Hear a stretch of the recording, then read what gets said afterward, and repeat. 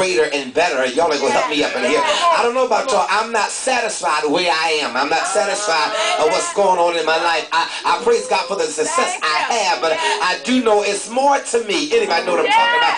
This picture is bigger than what I'm looking at. It's bigger than what I see. It's bigger than what I am. And because it's bigger than what I am, sometimes because I don't move as fast as I desire to move, uh, you can become frustrated because you're not moving fast enough. Uh, is there anybody here understand what I'm saying? Now, other words, you never thought you would still be in the place uh, that you're in right now. Matter of fact, if you thought you would be here, you would think you would be here this long. I don't know about nobody else. I, I have already set some goals for my life. I, I've set some goals for me and for my family and for the church. Uh, and seem like as we set goals, the enemy does everything. Uh, possibly he can to give us more setbacks uh, than set up. Somebody say setback. Setbacks. Uh, I don't know about nobody else, but we're experiencing uh, demonic attacks on every side. Uh, right now, what we're going through is totally satanic. Uh, it is just not the ordinary. Uh, it's demons leashed out on every side. Whether you believe it or not, there are satanic spirits with your name on it. Says kill you, kill you, kill you. There are demons that's been sent out just with your destiny to destroy you. Now, this is not the hour to get upset. This is not the hour to get an attitude. This is not the hour to stay home from church. This is not the time to get mad uh, because what's been said. Uh, it is now time to get closer uh, than you ever been before.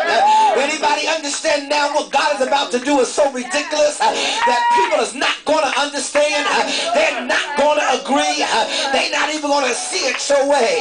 I'm at the place if you can't see where I'm going, I don't need you in my life. If I got to explain where I'm going, it is a waste of my time. Don't allow the enemy to fill you with time wasters. Somebody say time waster.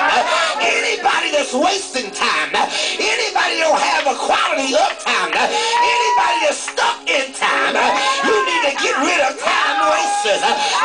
time waster. Uh, the like preacher here this morning. So I begin to look at it.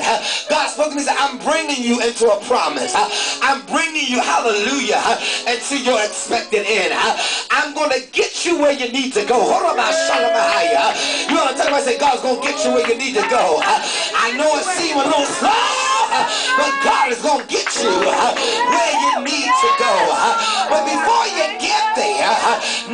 the scripture says in the text. Uh, there was something I required of you uh, before you enter into your promise. Uh, there's a cleanup uh, before you can build up. Uh, can I preach up in here? Uh, God is telling us now, let's not uh, about moving uh, until we see the whole scope of what's going on. Uh, sometimes we get so excited, uh, but we don't see what's in the grass. Uh.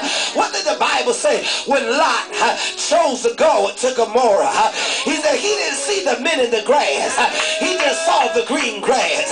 And now you can't get excited about what you see. You need to ask God, God, open up my eyes. I don't want my eyes to deceive me. And I don't see the other current that's going on behind the scene. Is there anybody here now tired of being deceived? Tired of repeating the same thing? There's some things I can't go over again. There's some things I can't repeat again. There's some things I cannot allow to happen to me again.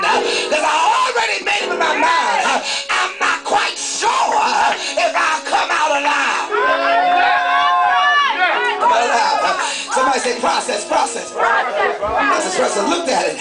He said, look, I'm going to take y'all into Canaan. I'm going to take you to Canaan.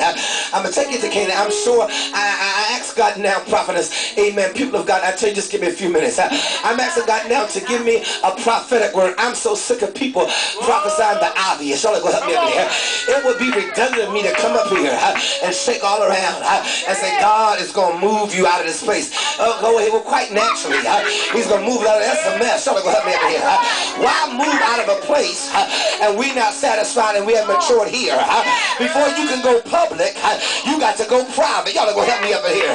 I don't need nothing else is going to stress me uh, that I'm already stressed. Uh, why get a 500 seat capacity church uh, and I got 10 good people? Uh, the devil is a liar. Uh, y'all are going to help me up in here. Uh, why stress myself to that magnitude uh, and end up dead trying to prove something to somebody uh, that don't care about me no way. Uh, so God sent me here to give a prophetic word uh, to prophesy into the minds of the people.